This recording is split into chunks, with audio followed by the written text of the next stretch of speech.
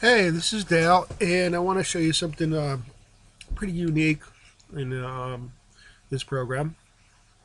So here I set up a tween, and as you can see, you know, it uh, it's okay, but uh, I want to have a 3D effect to it.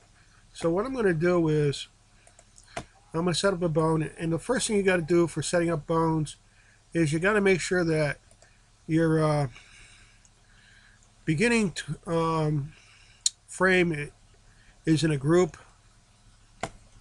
So that when you click on the bones and you click on the surface because you got to click on the surface you'll get this double window with a begin uh, frame and the end frame.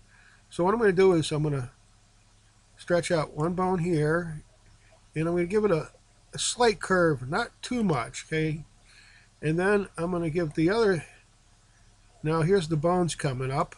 And I'm going to give the other side a slight curve too.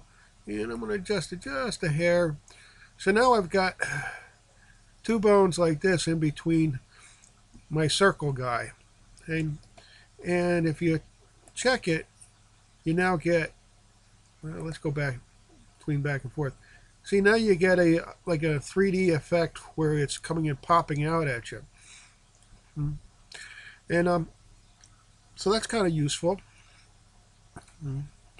And that's about it. I mean, the thing of it is, is like, let me stop this. See, now if I play it, it just goes across.